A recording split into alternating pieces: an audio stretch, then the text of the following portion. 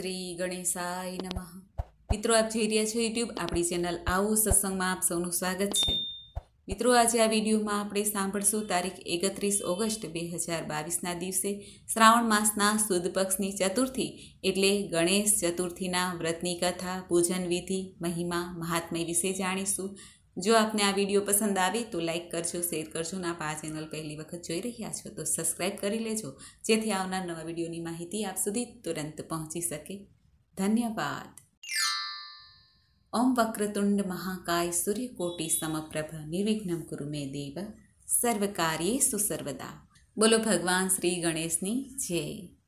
મિત્રો, આપણા હિન્દુ પંચાંગ અનુસાર ભગવાન શ્રી ગણેશની ચતુર્થી જે આખા વર્ષની મોટામાં મોટી ચતુર્થી આવે છે, તે છે ભાદરવા માસના સુદ પક્ષની ચતુર્થી, જ્યારે પ્રભુનો જન્મ થયો હતો. અને ખાસ કરીને આ દિવસ ઘણો શુભ અને મંગલકારી છે. ભક્તો ધામે ધૂમેથી ભગવાન શ્રી ગણેશનું દસ દિવસ સુધી પૂજન વિધિ કરીને ઉત્સવ મનાવે છે. એટલે કે એકત્રીસ ઓગસ્ટ બે હજાર બાવીસથી લઈને નવ સપ્ટેમ્બર બે હજાર બાવીસ સુધી દસ દિવસ સુધી ભક્તો ઉત્સવ ભગવાન શ્રી ગણેશજીનો મનાવશે અને ત્યારબાદ મૂર્તિ જે આપણે સ્થાપિત કરેલી છે તે મૂર્તિનું વિસર્જન થશે. આમ ભગવાન શ્રી ગણેશની માટીની મૂર્તિ બનાવીને ભક્તો ઘેરે સવાર સાંજ ભગવાન શ્રી ગણેશનું ધૂપ, દીપ, નૈવેદ્ય આદિથી પૂજન કરીને બાપાને મનાવે છે. અનંત ચતુર્દશીના દિવસે ભગવાન શ્રી ગણેશનું જે મૂર્તિ છે તેને જલમાં વિસર્જન થાય છે. મોટી નદી છે, સમુદ્ર છે, તળાવ છે, ત્યાં વિસર્જન થાય છે, વિધિ, વિધાન સાથે. અને ભગવાન શ્રી ગણેશની કૃપા પ્રાપ્ત થાય છે. કહેવાય છે કે ભગવાન શ્રી ગણેશનું ચતુર્થીના દિવસે પૂજન કરીને કથા સાંભળવાથી જીવનના દરેક સંકટો, કષ્ટો મટે છે. બાપાની કૃપા થાય તો જીવનમાં ધર્મ, અર્થ, કામ અને મોક્ષની પ્રાપ્તિ થાય છે. આ ચતુર્થીના દિવસે તો શુભ સંયોગ પણ બને છે. આખો દિવસ ચતુર્થીના દિવસે શુક્લ યોગ છે. આ ઉપરાંત બ્રહ્મયોગ છે, શુભ યોગ છે અને આ શુભયોગમાં જે પૂજા પ્રારંભ કરવામાં આવે છે તે મંગલમય હોય છે. ધાર્મિક માન્યતા અનુસાર રવિ યોગ અમંગળને દૂર કરનાર છે અને આ તારીખે એટલે કે એકત્રીસ તારીખે આખો દિવસ રવિ યોગ છે જે સફળતા પ્રદાન કરનારો છે. માટે આ દિવસે ભગવાન શ્રી ગણેશની મૂર્તિનું સ્થાપન કરવું, પૂજન વિધિ કરવી તથા ભગવાન શ્રી ગણેશની આરાધના ભક્તિ કરવાથી લાભ અવશ્ય પ્રાપ્ત થાય છે. ભગવાન શ્રી ગણેશની સ્થાપના માટે આમ તો મુહૂર્ત જોવાની જરૂર હોતી નથી, પરંતુ છતાં પણ ભગવાન શ્રી ગણેશના જન્મોત્સવનું આ વિધિ વિધાનથી પૂજન કરવાનું મહાત્મય છે, આ શુભ ચતુર્થી છે. એટલા માટે સવારથી જ જો કોઈ પણ શુભ ચોઘડ્યું હોય, અમૃત ચોઘડ્યું હોય, ચલ હોય તે શુભ ચોઘડિયામાં અથવા શુભ હોરા હોય, ચંદ્ર હોય, ગુરુ હોય, શુક્ર હોય, જે શુભ હોરા છે, તેમાં ભગવાન શ્રી ગણેશનું સ્થાપન કરી શકાય છે. સવારે સ્થાપન કરી શકાય છે અને બપોરે ખાસ કરીને, કારણ કે ભગવાન શ્રી ગણેશનો જન્મ બપોરના સમયે થયો હતો. એટલા માટે બપોરના સમયે શુભ મુહૂર્ત છે અગિયારથી ચોવીસ મિનિટથી લઈને એકને ચોપન મિનિટ સુધીનું. આ ઉપરાંત સાંજે ગૌતુલી વેલા હોય છે, ત્યારે પણ ઘણા ગણેશજીની સ્થાપના કરે છે. પરંતુ આમ જોઈ તો ગણેશજીની સ્થાપના સૂર્યદેવ છે, ત્યાં સુધીમાં જ કરી લેવી જોઈએ. ક્યારેક આપણે કોઈ કારણસર વેલા મોડું થાય, તો સૂર્ય અસ્ત થાય એ પહેલાં ગણેશજીની સ્થાપના અવશ્ય કરી લેવી જોઈએ. આમ, ભગવાન શ્રી ગણેશજીની સ્થાપના કરીને ત્યારબાદ દસ દિવસ સુધી ભગવાન શ્રી ગણેશજીનો જન્મોત્સવ મનાવાય છે, ઉત્સવ મનાવાય છે, કહેવાય છે કે ભગવાન શ્રી કૃષ્ણને જ્યારે સ્યમંતક મણીનો ખોટો આળ એટલે કે કલંક ચડ્યું હતું, ત્યારે નારદ મુનિએ ભગવાન શ્રી કૃષ્ણને આ ભાદરવા માસની ચતુર્થી તિથિનું વ્રત કરવાનું કહેલું હતું અને ભગવાન શ્રી કૃષ્ણએ આ ચતુર્થીનું વ્રત કર્યું કે જેથી તેમને આ સ્યમંતક મણીના ચોરીના કલંકમાંથી મુક્તિ મળી હતી. એવી શુભ અને મહિમાવંત આ ભગવાન શ્રી ગણેશજીની ચતુર્થીનું વ્રત છે, ચતુર્થીની પૂજાનો મહિમા છે. આમ તો આપણે ભગવાન શ્રી ગણેશનું વિધિ વિધાનથી આપણા ઘરના મંદિરમાં જે આપણે ગણેશજીનો મૂર્તિ કે ફોટો રાખ્યો હોય છે, તેનું પૂજન કરીએ છીએ. પરંતુ હવે બધા મૂર્તિની સ્થાપના કરે છે અને તેની પૂજા વિધિ સવાર સાંજ કરે છે. મૂર્તિ માટીની લેવી જોઈએ કે જેથી જલમાં તેનું વિસર્જન કરી શકાય? કારણ કે માટી એ માટીમાં મળી જાય છે, જેથી પાતક લાગતું નથી. ભગવાન શ્રી ગણેશની મૂર્તિનું સ્થાપન કરીએ ત્યારે તેનો પણ સમયગાળો હોય છે, જેમ કે દોઢ દિવસ એટલે કે એક દિવસ પૂજા કરવાની હોય છે અને બીજા દિવસે ભગવાનની મૂર્તિનું વિસર્જન થાય છે, પ્રભુનું વિસર્જન નથી થતું. ભગવાન શ્રી ગણેશ તો અલૌકિક રૂપે આપણા ઘરમાં બિરાજમાન રહે છે, તેમના આશીર્વાદ રહે છે. માત્ર મૂર્તિનું જ વિસર્જન થાય એમ કહેવાય છે. આ ઉપરાંત ત્રણ દિવસ, પાંચ દિવસ, સાત દિવસ, નવ દિવસ અને દસ દિવસ આ રીતે મૂર્તિની સ્થાપના કરી શકાય છે. સંકલ્પ પહેલેથી જ લેવો જોઈએ કે આપણે કેટલા દિવસ ભગવાનની મૂર્તિનું સ્થાપન કરવા માંગીએ છીએ. એ પ્રમાણે મૂર્તિની સ્થાપના કરીને કુંભ સ્થાપન કરાય છે. રિદ્ધિ, સિદ્ધિ સહિત લાભ, શુભ સહિત ભગવાન શ્રી ગણેશનું પૂજન કરાય છે. ત્યારબાદ ભગવાનને નિત્ય લાડુનો ભોગ, લાપસીનો ભોગ, ખીરનો ભોગ અથવા તો ખાંડ, સાકર, ગોળ આદિ ધરી શકાય છે. સવાર, સાંજ પ્રભુની આરતી ઉતારાય છે અને રોજ રોજ નવા પુષ્પ ચડાવાય છે. ભગવાનનો સાત શૃંગાર કરાય છે અને ભગવાનને નિત્ય દુર્વા ઘાસ અવશ્ય અર્પિત કરવા જોઈએ, સિંદૂર ચડાવવું જોઈએ, ચોખા અક્ષતથી પ્રભુને વધાવવા જોઈએ, આસો પાલવના પાનનું તોરણ આપણા ઘરમાં બાંધવું જોઈએ અને પ્રભુની જે બાજોટ ઉપર આપણે સ્થાપના કરેલી છે, ત્યાં અખંડ જ્યોત પણ મૂકી શકાય છે. આમ, ભગવાન શ્રી ગણેશનું સાદી સરળ રીતે ઘરમાં પણ પૂજા થાય છે અને મોટા મોટા પંડાલો પણ લાગેલા હોય છે. ભગવાન શ્રી ગણેશનું પૂજન કરવાથી વિઘ્નો દૂર થાય છે, સંકટો મટે છે, જ્ઞાન, ભક્તિ, શક્તિની પ્રાપ્તિ થાય છે. આદિદેવ ભગવાન શ્રી ગણેશ છે. ભગવાન શ્રી ગણેશનું આપણે હંમેશા પૂજન કરીએ છીએ, કોઈ પણ શુભ કાર્ય કરતાં પહેલાં. એવી રીતે મંગલ કાર્ય કરતાં પહેલાં પણ ભગવાન શ્રી ગણેશનું પૂજન થાય છે, એટલા માટે ભગવાન શ્રી ગણેશને મંગલ મૂર્તિ કહેવાય છે. જેમ કે લગ્ન છે, વિવાહ, મુંડન આદિમાં ભગવાન શ્રી ગણેશનું પહેલાં સ્મરણ થાય છે. આપણે નવું ઘર વસાવીએ છીએ, ત્યારે પણ ભગવાન શ્રી ગણેશનું પ્રથમ પૂજા થાય છે. અને કોઈ વાહન લઈએ ત્યારે પણ સાથીઓ કરીને ભગવાન શ્રી ગણેશનું પૂજન કરીએ છીએ. આવી રીતે સર્વપ્રથમ પૂજનીય ભગવાન શ્રી ગણેશ છે. માટે આ ગણેશ ચતુર્થી એ મોટી ચતુર્થી છે જેમાં પ્રભુનો જન્મ થયો મનાય છે. ભગવાન શ્રી ગણેશની ઉપાસના માટે બહુ મોટા મોટા વિધિ વિધાન કે યજ્ઞ જાપની જરૂર નથી. ફક્ત અઠવાડિયે એકવાર ભગવાન શ્રી ગણેશનું પૂજન કરવામાં આવે ખાસ કરીને બુધવાર. અને આ ચતુર્થી અને બુધવારનો સંયોગ પણ છે. માટે આ ચતુર્થી ઘણી લાભ પ્રદાન કરનારી છે. જે ભક્તો એક દિવસ જ માત્ર ગણેશજીનું પૂજન કરવા માંગતા હોય તે પણ કરી શકે છે. અને ભગવાન શ્રી ગણેશની પૂજા કરતી વખતે ખાસ કરીને સોપારીનું પૂજન અવશ્ય કરવું જોઈએ. કારણ કે સોપારી એ શક્તિ, સિદ્ધિ, બુદ્ધિનું પ્રતીક છે. સોપારીનું પૂજન કરવાથી ભગવાન શ્રી ગણેશનું પૂજન થઈ જાય છે. જો કોઈની પાસે મૂર્તિ ન હોય, ફોટો ન હોય, તો સોપારીનું પૂજન પણ કરી શકાય છે. સોપારીને કંકુ, સિંદૂર, હળદર આદિથી પૂજન કરીને લાલ પુષ્પ ચઢાવાય છે. ભગવાન શ્રી ગણેશ માનીને તેમને ઘી, ગોળ, લાડુ આદિનું નૈવેદ્ય ધરાવાય છે અને આરતી ઉતારાય છે.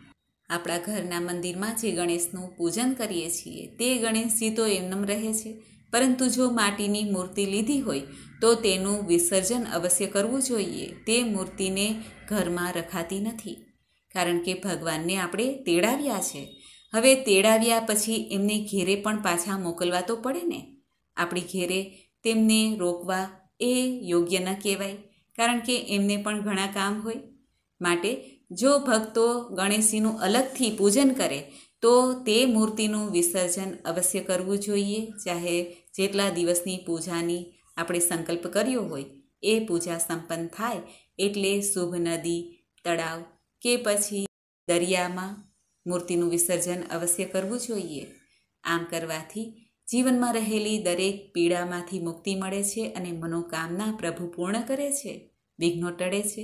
સદબુદ્ધિ, સરળતાની પ્રાપ્તિ થાય છે, પવિત્રતાની પ્રાપ્તિ થાય છે. જો ઘરમાં ક્લેશ, કંકાસ કજ્યો હોય, તો તે પણ શાંત થઈ જાય છે. શ્રદ્ધાપૂર્વક ભગવાન શ્રી ગણેશનું આ દિવસે પૂજન કરવાથી આર્થિક, સામાજિક, માનસિક અડચણો પણ દૂર થાય છે અને ભગવાન શ્રી ગણેશની કૃપાથી સૌભાગ્યની પ્રાપ્તિ થાય છે. ઘરમાં દરેક ભગવાન શ્રી ગણેશનું પૂજન કરી શકે છે. કારણ કે પ્રભુ તો સૌના છે. આ ભગવાન શ્રી ગણેશની ચતુર્થીનું વ્રત કરવાથી ભાઈ બહેનો સૌને લાભ પ્રાપ્ત થાય છે, સુખ શાંતિ મળે છે. વંશવૃદ્ધિ થાય છે, ઈચ્છિત કામના પૂર્ણ થાય છે. આ વ્રતનું એક વિધાન છે કે આ વ્રત કરનારે વ્રત કથા અવશ્ય સાંભળવી જોઈએ. મિત્રો, તો આ હતું ભાદરવા માસના સુદ પક્ષની ચતુર્થીના વ્રતની વિધિ મહિમા. હવે આપણે સાંભળીએ ભાદરવા માસના શુક્લ પક્ષની ચતુર્થી, ગણેશ ચતુર્થીના વ્રતની કથા. બોલો ભગવાન શિવ પાર્વતીના આનંદન સિદ્ધિ બુદ્ધિના દાતા, લાભ સુખના પિતા, સંતોષ ધન પ્રદાન કરનારા દેવ, સર્વપ્રથમ પૂજનીય ભગવાન શ્રી ગણેશની જય. ભાદરવા માસની અજવાળી ચોથ એટલે ગણેશજી રિદ્ધિ સિદ્ધિ સાથે કૈલાસ જઈ રહ્યા હતા. આકાશ માર્ગે જતા ધુંદાળા દેવનું મુખ જોઈને ચંદ્રદેવ હસવા લાગ્યા. તેમની મોટી ફાંદ, લાંબી સૂંઢ, ગોળ મટોળ દેહ જોઈને ચંદ્રદેવને ઠેકડી કરવાનું મન થયું. ચંદ્રદેવ ગણપતિજીને કહેવા લાગ્યા, કેમ ગણેશજી, આજે બ્રહ્મદેવે તમને ભૂખ્યા કાઢ્યા કે શું? જુઓને, તમારું પેટ તો દેખાતું જ નથી. છતાં ગણેશજી કાંઈ જ ન બોલ્યા.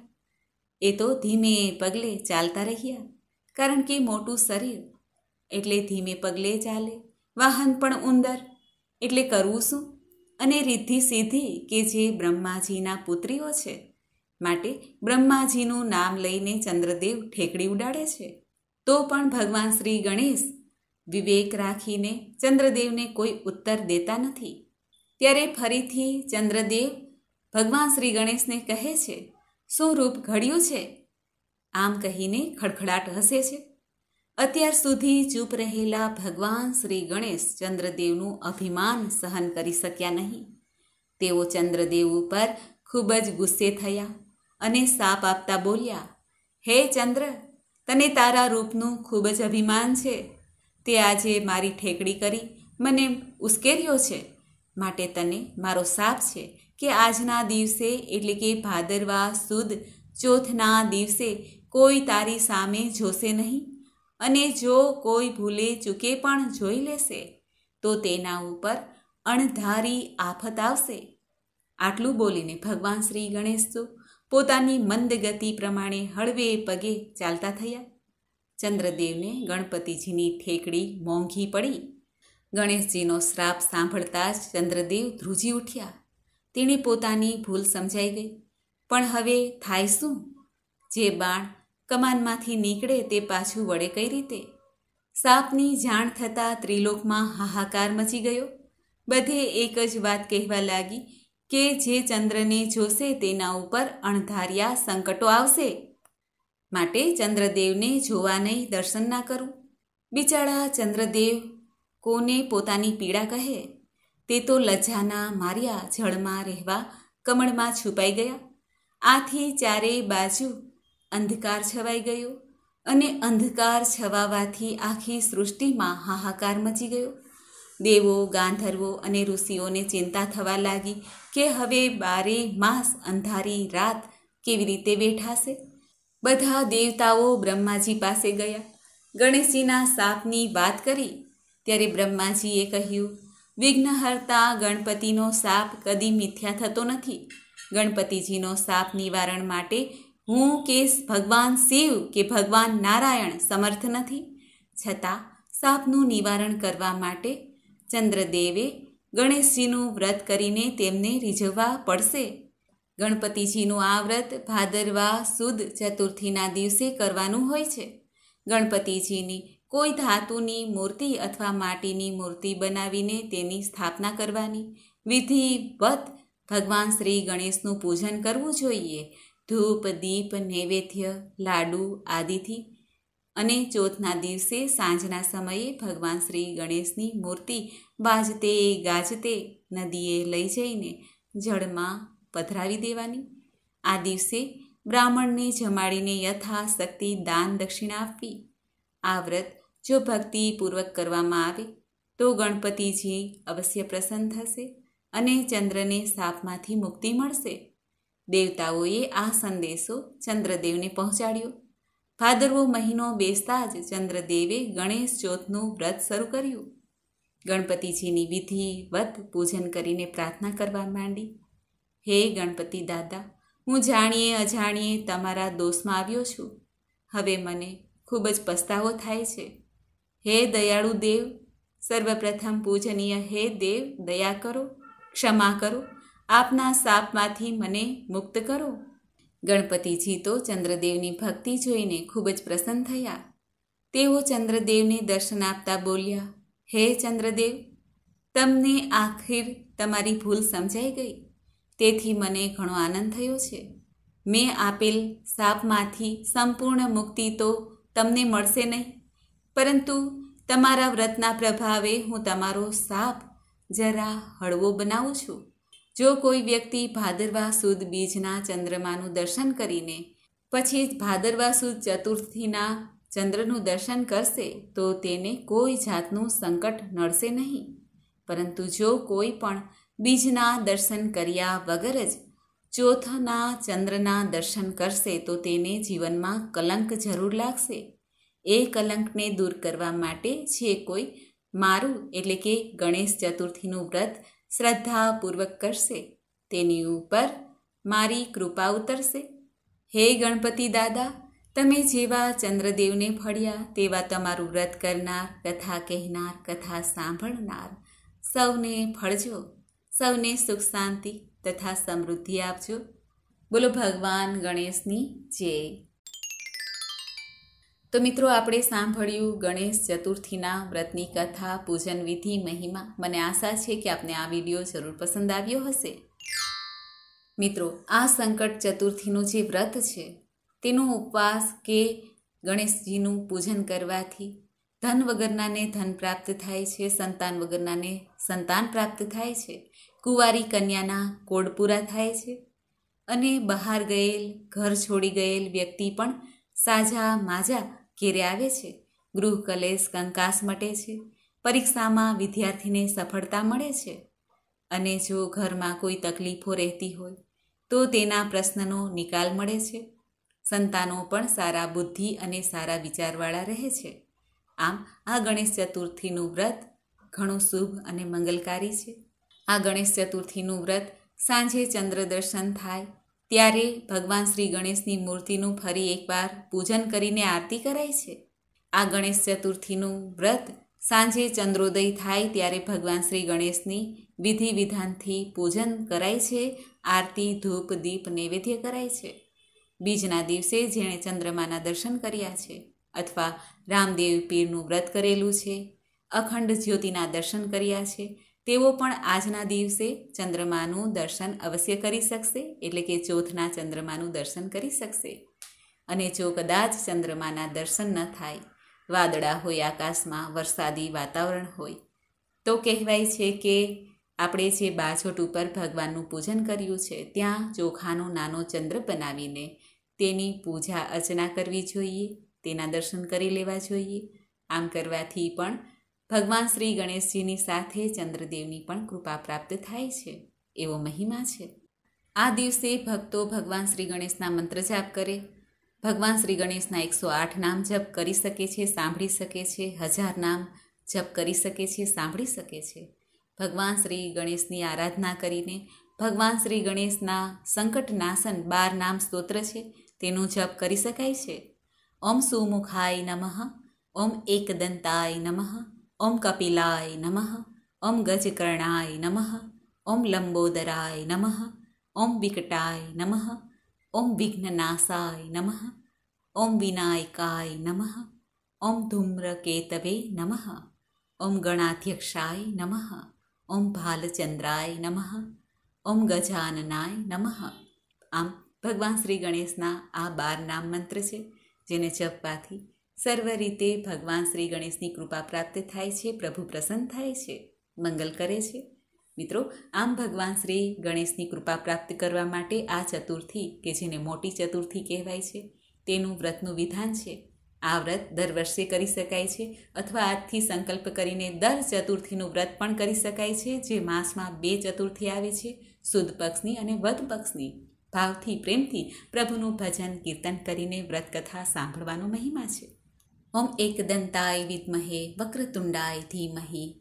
તન્નો ગણપતિ પ્રચોદયાત.